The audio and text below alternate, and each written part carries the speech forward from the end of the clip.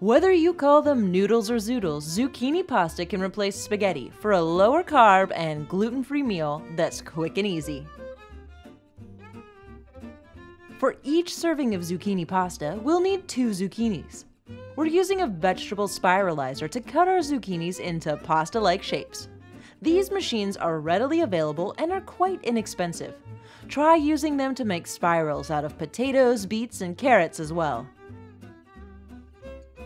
If you don't have a vegetable spiralizer, you can cut zucchini by hand.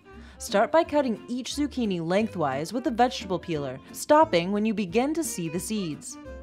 Turn the zucchini over and continue to peel on the other sides, once again, stopping when you see the seeds.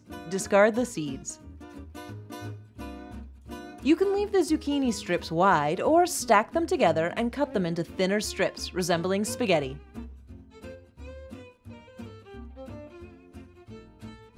Now let's heat 1 tablespoon of olive oil in a skillet over medium heat. Add your zucchini noodles and cook for a minute. Then pour in a quarter cup of water or broth and continue to cook until the zucchini is softened, 5 to 7 minutes.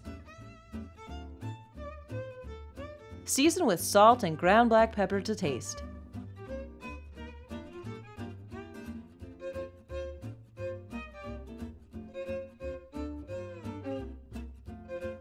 We love our zucchini noodles tossed with pesto sauce, cherry tomatoes, and a few meatballs.